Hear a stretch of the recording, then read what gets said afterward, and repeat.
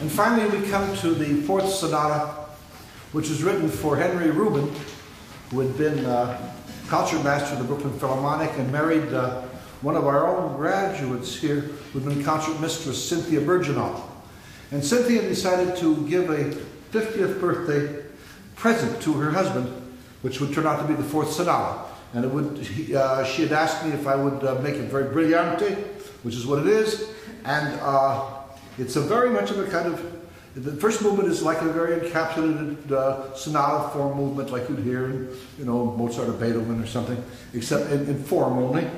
White Night uh, doesn't necessarily mean the White Nights of Moscow. It means Nuit Blanche, which means a night when you can't sleep.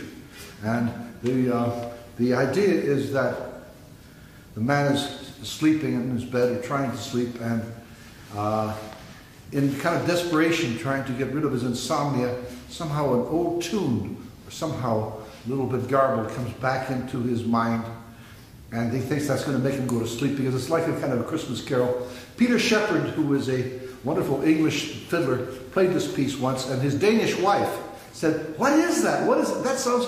And she said, That's just like a Christmas carol I grew up with in Denmark. And there must be, there was this kind of a memory, I have kind of. So that anyway, the trouble is that instead of putting him to sleep, it keeps him awake. Arabesque, which is the next one, which is very influenced by uh, um, Arabic music again.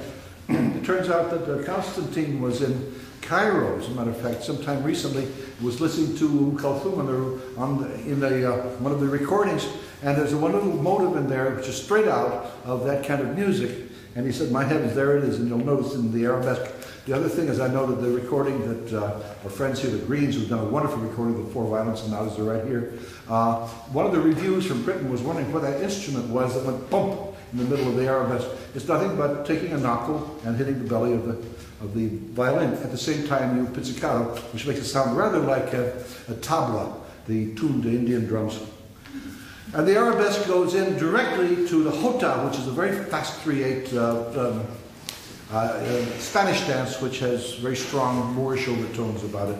And the end is a very grand brillante ending. And I hope this will be a brillante ending for this very long marathon. Thank you all for sticking with us. And uh, here they are.